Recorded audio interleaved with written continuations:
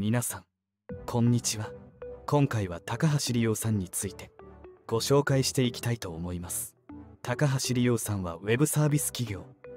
FC2 の創業者でもあり参議院議員選挙への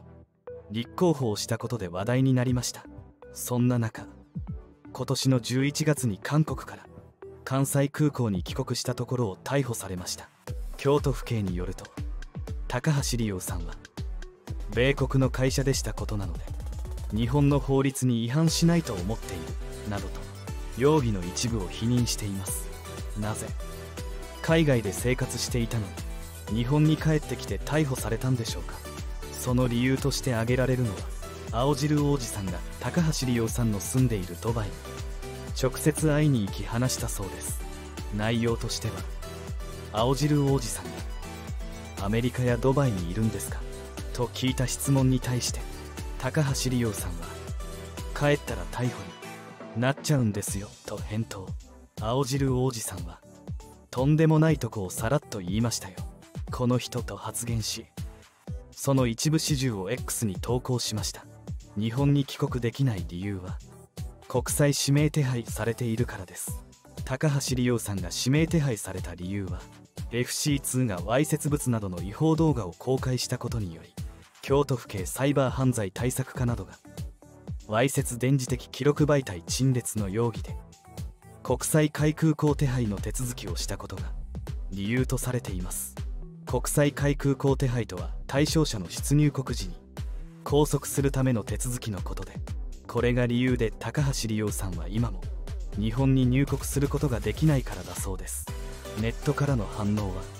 お母さんに会いたいから覚悟が決まったら帰るって言ってましたよね。などコメントがありました。その結果今年の11月に韓国から関西空港に帰国したところを逮捕されました。京都府警によると高橋理央さんは米国の会社でしたことなので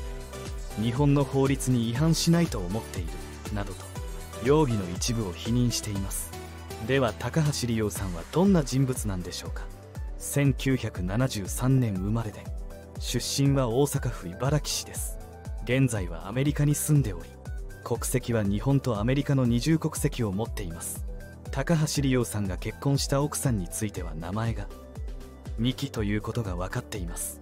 これは高橋理央さんがガーシーこと東谷義和さんと共演した際奥さんの話題でミキという名前を語っていたことが要因となっています。ただ彼の奥さんであるミキさんは一般人であるため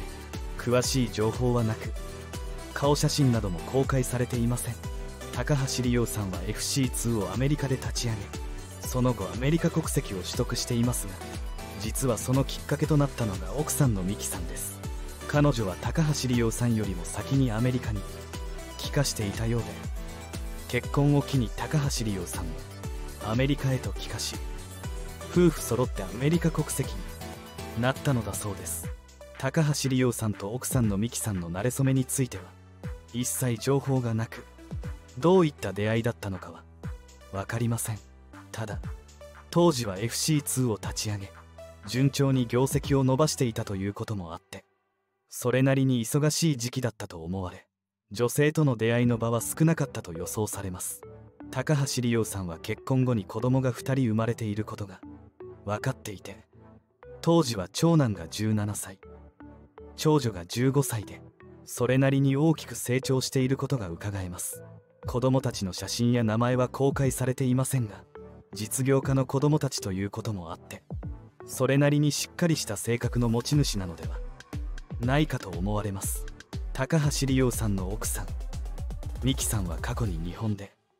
不倫をしていたことがガーシーこと東谷義和さんの YouTube チャンネルにて暴露されていました。そのためこの暴露をきっかけにガーシーはミキさんから嫌われてしまったようですが高橋理央さんは不倫を知っていたようでそれほど気にしていなかったそうです。ガーシーこと東谷義和さんが暴露したミキさんの不倫相手については日本にいるホストと暴露されさらに過去には一度彼氏から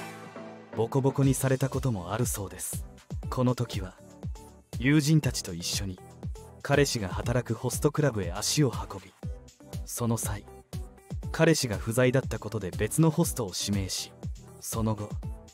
遅れて彼氏がホストクラブへ出勤しそこで何別のホスト指名してんだよと激怒しボコボコにされてしまったそうです。高橋理央さんと美樹さんの2人はすでに離婚していることが分かっており夫婦関係は終わっているようです。離婚したのは2022年7月9日のことだそうで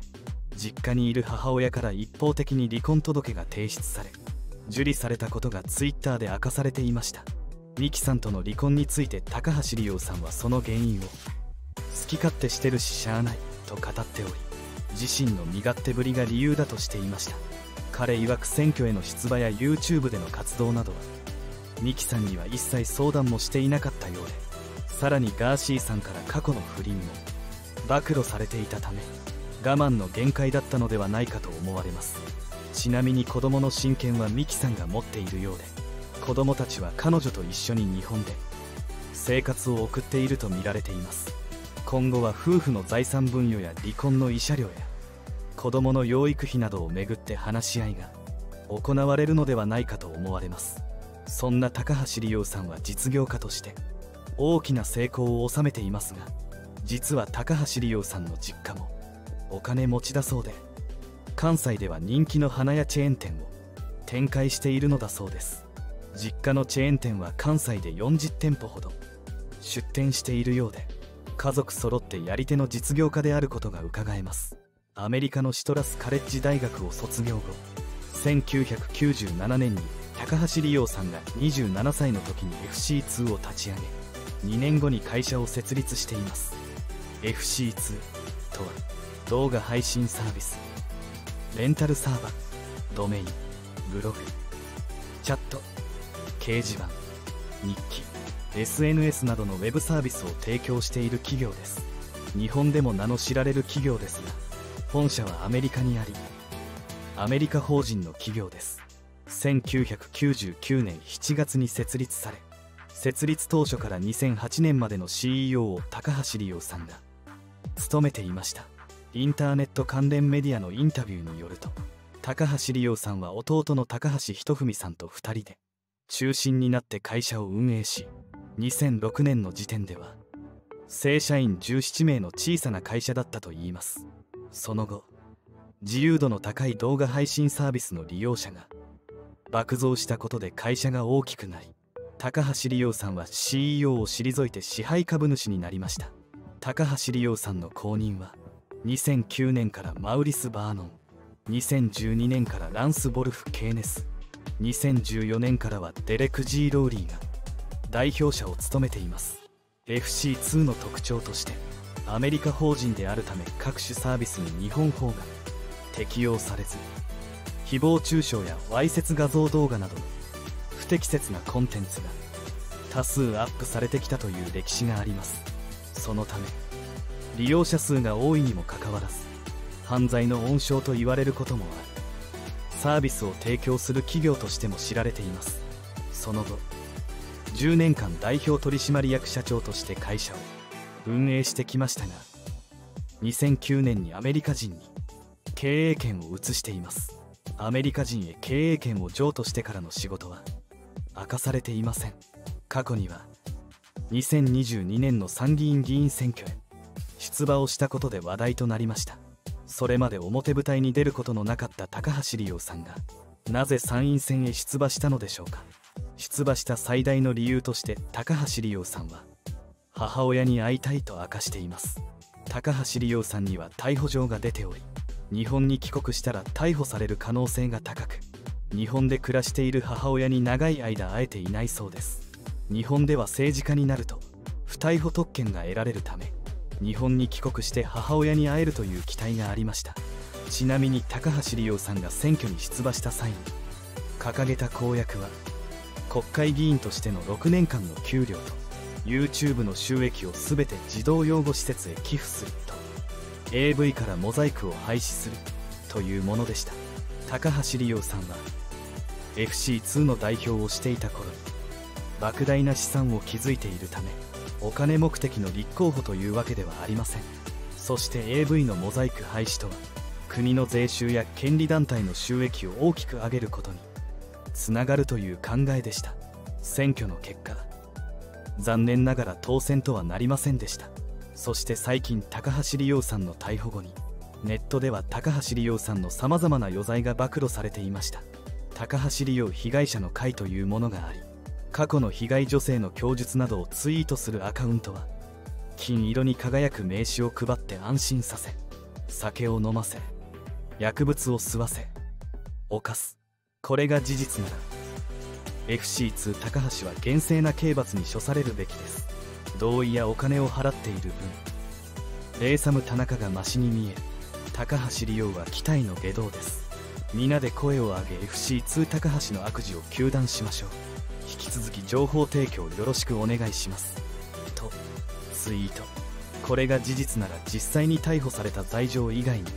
高橋利用さんには罪があるようです。他にも FC2 高橋利用専属アテンダー。胸くそ悪くなる話ばかりだな。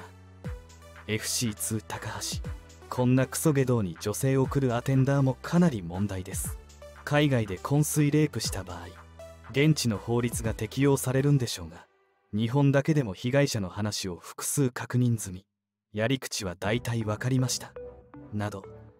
最近新たに新事実となるものが発覚してきており高橋理央さんに対して SNS では様々な議論が起こっています。今回は